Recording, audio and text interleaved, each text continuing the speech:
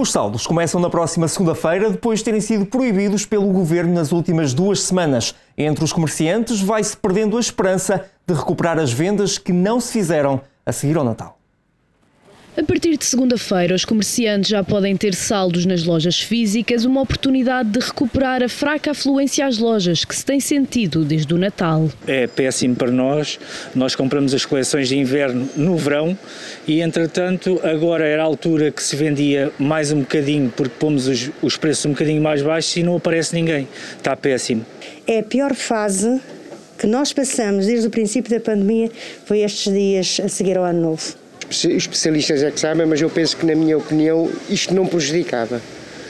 Porque isto podia-se limitar a pessoas dentro da loja ou mesmo dentro de um centro comercial e, e sinceramente, eu não, não acho correto. A Associação de Marcas de Retalho e Restauração diz que a proibição dos saldos gerou uma quebra de 51,2% nas vendas dos lojistas entre 26 e 31 de dezembro de 2021, face ao mesmo período do ano anterior.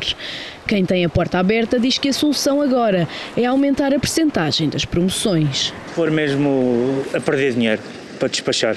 Aqui é uma uma população muito idosa, não é? É quase sempre os mesmos clientes.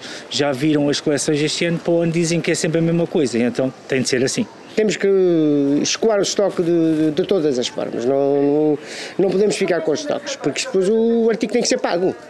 Pronto. E alguns já está pago, inclusive, e depois ficamos com muito artigo do ano passado também, não é? E já se perdeu os 15 dias. Perdeu-se os 15 dias e já é muito tempo, muito tempo mesmo. Ainda assim, há quem veja sempre a situação pelo lado positivo. Vai ser avançado para a frente, com certeza, vai haver mais tempo de saldos. O, também, às vezes o tempo também está incerto, nós continuamos a ter artigo de inverno junto com artigo já de meia estação. Portanto, eu acho que vai funcionar bem, eu acho que vai resultar.